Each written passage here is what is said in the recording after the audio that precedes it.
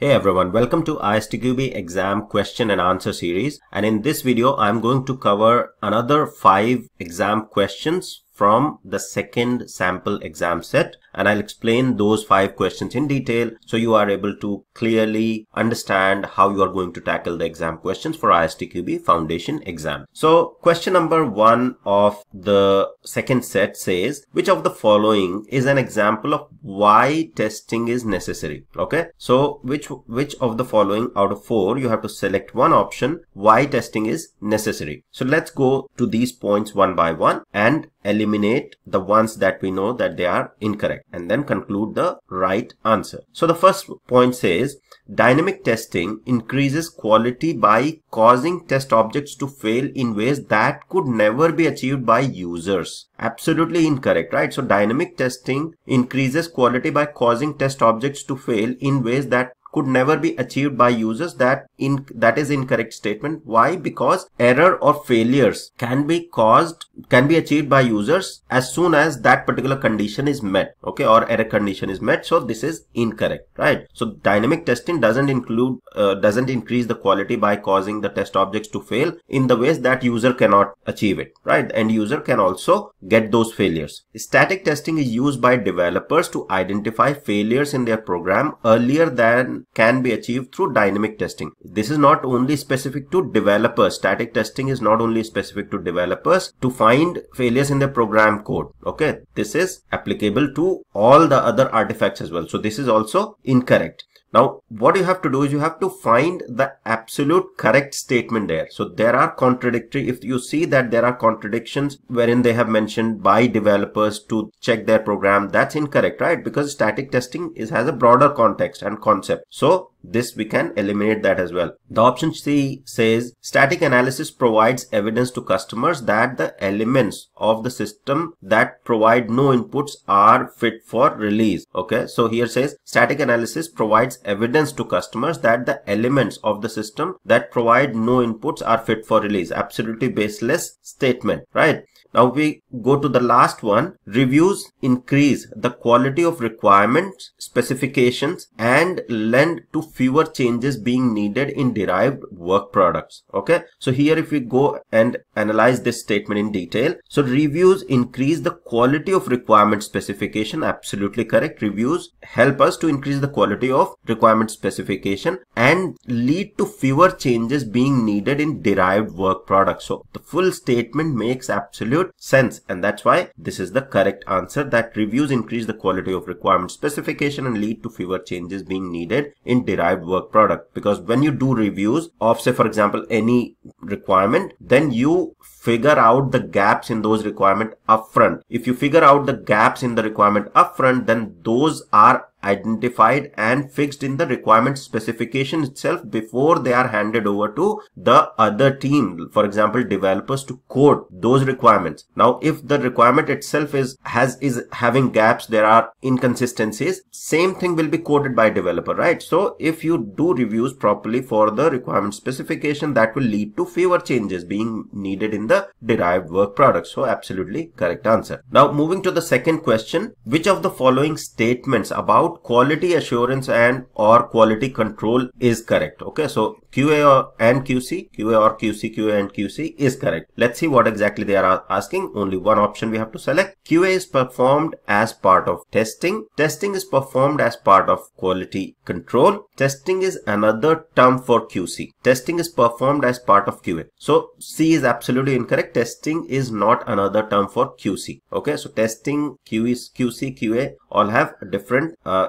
different uh, explanation and different area of coverage I would say in in the projects. So this is absolutely incorrect. We have marked that as incorrect. Okay. Now QA is performed as part of testing. That means what they are saying is testing is a higher set and then QA is a subset. Okay. That's incorrect. Okay. This statement is not correct. So A is also incorrect. Now testing is performed as part of the QC. This is the correct statement. B is the correct statement. Why? Because you have QC and then testing is actually you can say a subset of QC okay quality control. So B is the correct answer. Testing is performed as part of the QC and testing is performed as part of the QA is also incorrect All right. So when we say quality control, quality control as part of the quality control, testing is done. Okay. So testing is part of the quality control and quality assurance is a more broader scope. Okay. So you have this QA, then QC and as part of the QC testing is done, right? So B is the correct answer for this particular question. So now moving to the third question, one of the principles of testing states that exhaustive testing is impossible. Okay. One of the principle of testing is exhaustive testing is impossible. Which of the following is an example of addressing this principle in practice? Okay. So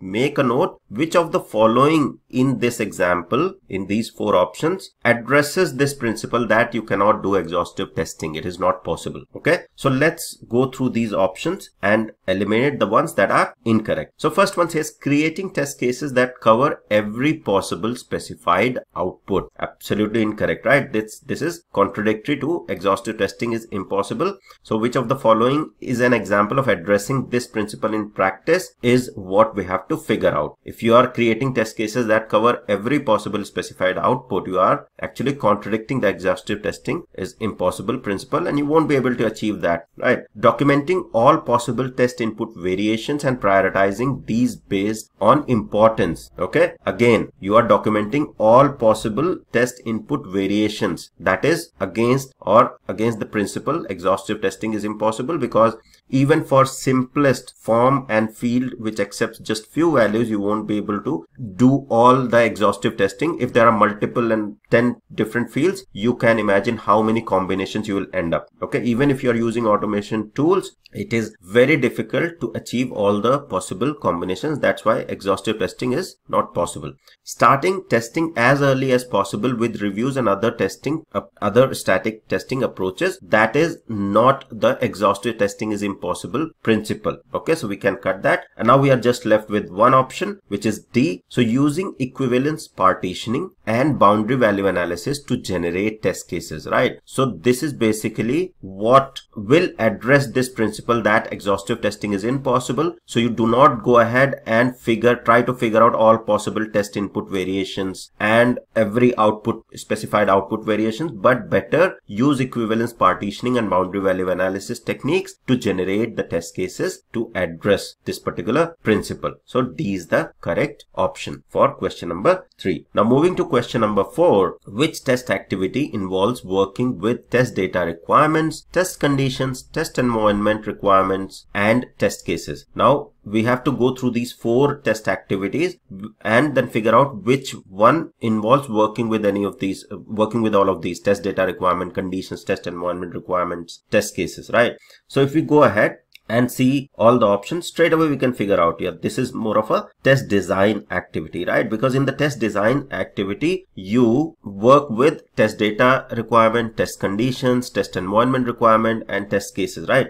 During test execution no you do not exactly work with all of these. You when you are designing you work with all of these and during execution you use all of these right during analysis no. During implementation no. So during designing you work with all of these data requirement test conditions test environment requirement and test cases in the design phase to come up with the proper test cases and scenarios with exact data requirement test environment requirement everything. Okay? So that's question number four now moving to the last question of this particular video, which of the following is most likely to impact how testing is performed for a given test object? Okay. Now here we have to figure out which of the following is most likely to impact how testing is performed for a given test object. Now let's go through these four options and we have to select one and see which one is going to impact most likely to impact how testing will be performed. So if we go ahead with the first one, the average level of experience of the organization's marketing team, no, absolutely baseless marketing team, right? Why would that impact? Okay. The knowledge of users that a new system is being developed for them. So knowledge of users, why would that knowledge of end users will impact the the testing that you are going to perform how testing your how the testing should be performed right? So that is also absolutely baseless. The number of years of years experience of the members of the test team. Yes this is absolutely makes sense because this is most likely to impact how testing is performed for a given test object because if the years of experience uh, and team is experienced they'll be it will be bit easier for the team to go ahead and do testing. So we'll just make a note of this. This is this looks very close and it is a correct answer but we'll still go ahead and eliminate the last one. The end users organizational structure for a commercial music streaming application. Absolutely baseless right? So you can easily conclude that c is the correct answer for this particular question. The number of years experience of the members of the test team which is absolutely correct answer. How the testing it will impact how the testing will be performed. If you have a fresher fresh team absolutely new to everything they will take more time. They'll be requiring more understanding of the application how they are going to perform the testing right? So that's the correct answer. So that's all for uh, this particular video. We have covered five exam questions with explanations. In the next video i'll cover another five exam questions for istqb foundation exam. I hope this was helpful. Thank you. See you in the next one